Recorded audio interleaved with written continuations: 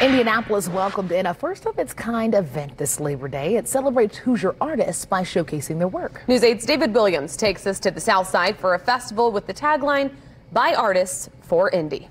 There are dozens of works of art and more than 70 artists that are from right here in Indy.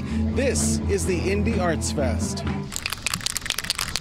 Easy Underwood has done artwork his whole life, but he's been a professional artist for the last five years. My artwork is what kept me going, so I felt like that was what was given to me, and now I want to give it to other people. He's one of several artists at today's event and says Indianapolis has opened its heart to art. Indy Fest has given a lot of brand new artists that I've always had talent, has always been here, but the opportunity to be seen has been rare.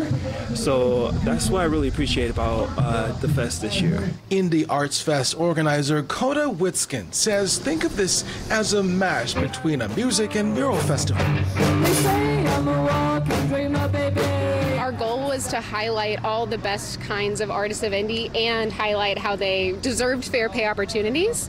Um, Indy creatives are actually paid less than half the national average. So we're really trying to show Indy what we've got from body painting to music to obviously murals and graffiti. There were several food trucks. There's a mural guests can draw on and help with.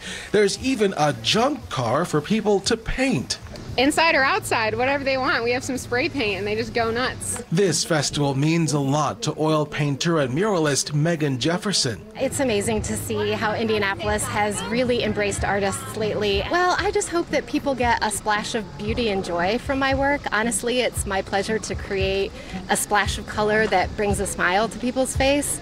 And when I can do that, my work here is done. A hip hop artist, Underwood hopes people get something from his work too. Hopefully, when they see my artwork, what they see is the samples of my culture that I bring together to create a cohesive piece that inspires them to less worry about the licensing and things that goes on behind the courtroom. I'm more about just getting their ideas out there for people to see.